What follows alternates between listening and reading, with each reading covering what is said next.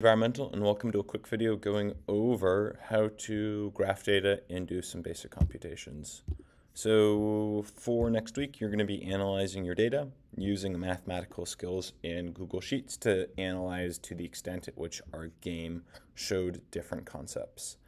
Um, I'm going to go over each of these right now and hopefully have you then be able to replicate this. And again, if you have questions, feel free to shoot me an email or come see me in Flex. So when we look at our data, we have five sheets where I have already sorted the data based on the games in which we changed grass regrowth, and then sheep energy, wolf energy, sheep reproduction, and wolf reproduction.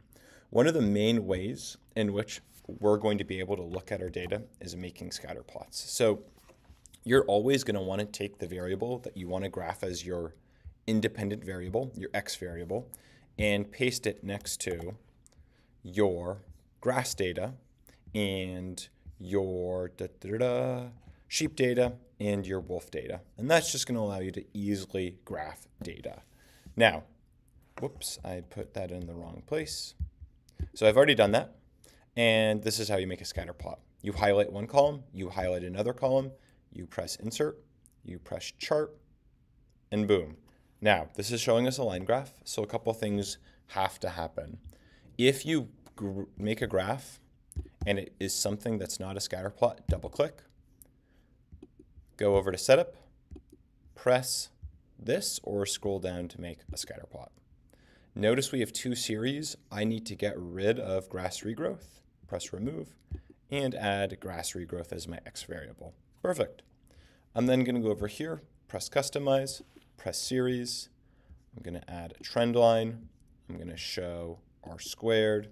It's 0.35.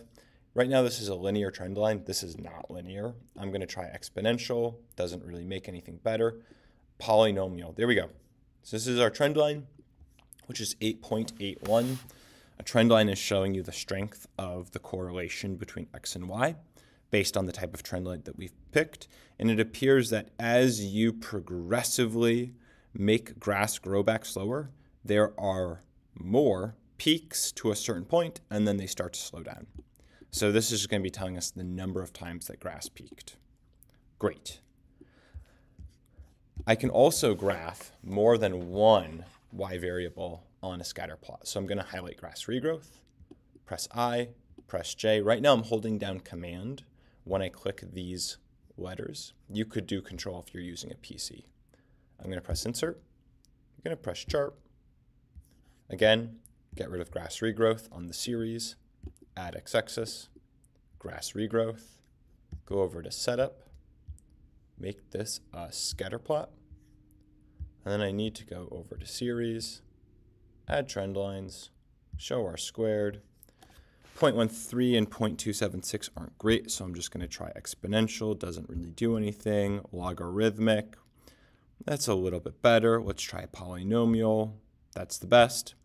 And again, it's showing us that there seems to be, as we make grass grow slower, there tends to be a reduction in the oscillation. So it's growing back slightly faster, but the peaks are really dropping quite low. So that's how you make scatter plots. Now, some of the analysis that you can do for this work is discussing the distribution and replicates of the dataset, whether it's skewed or even accurate and precise. I'm going to do that right now. So when I look at the scatter plot, zoom in, it does appear as if my data tends to be a little bit skewed in the 40 to 75 data set. I have a few high grass regrowth rates and I have a few low grass regrowth rates, but there's a lot of data centered in the middle. And then when I'm talking about the accuracy of my data, notice I have one, two, three data sets all at 10. There's a huge imprecision here. Same thing with here, one, two, three. Huge imprecision at 15. And then when I compare 20 to 25, there's also quite a bit of gap in here. So I'm seeing some data that does not appear to be that precise. When I look at the oscillation data, it appears as if there's a far greater precision to the replicates in terms of their clumping. Notice here at 10, they're all really good, but also a lot of the red dots are quite close to the trend line. One thing I can do if I want to see both variables on different axes in my game is, or my chart is I'm going to go to customize. I'm going to press series. I'm going to pick grass oscillation and I'm going to scroll down and add a right axis. Boom. And that usually helps the data be a little bit more uh, uncompressed. So this is my y-axis on the left for peaks, and this is my y-axis on the right for oscillations. Terrific.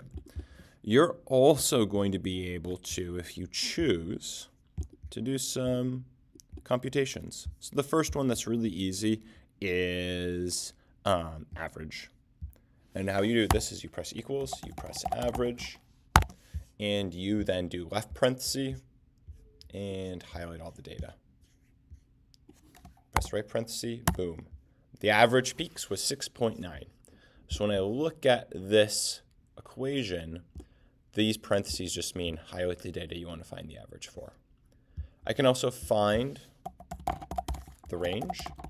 To do that, I'm going to press equals, type in max, highlight the data, press minus, do min, and then highlight the data again. So my range is 14. I can do standard deviation, which is going to tell me how precise my data set is. Left parenthesis, highlight all the data, right parenthesis, boom, 3.6. I also can do a t-test if I want to compare two groups of data. To do that, I'm going to do equals t-test. I'm going to do left parenthesis. I'm going to highlight a group of data. So I'm going to highlight right now the number of peaks for all of the grass below, uh, let's say 25, because that's representing grass that grew back faster than the 30. So I'm going to highlight all of that data. I'm then going to do a comma and then highlight all the data in the other group. And then I'm going to do a comma and I'm going to press 2 because I want to be looking at both sides of the distribution. And then I'm going to do a comma 3 because I'm comparing two groups with different sizes, which is meaning which means that the data is heteronormative. Um, that means that the variance in the two groups is likely going to be different. I do right parenthesis. So again, I've selected my first group of data, my second group of data. Do a 2 because I'm comparing both sides, and a 3 because the two groups are different. Press enter. And this is telling me how different the two groups are in terms of a t-test. And that looks astoundingly stellar. Um, that basically means the two data sets are wickedly different, um, which sort of is backed up by the data when I look at the data between low and high, there's a very, very, very small chance that my data sets are similar. So those are the four computations that you can do. We've talked about how to make scatter plots and look at R squared. We've also you can also cite ranges of data points for X and Y to establish groups. I think we just did that by talking about um, grass regrowth rate below and above the constant value of 30. So your three questions are, when you plot data or do computations, does the amount of energy change the ecosystem?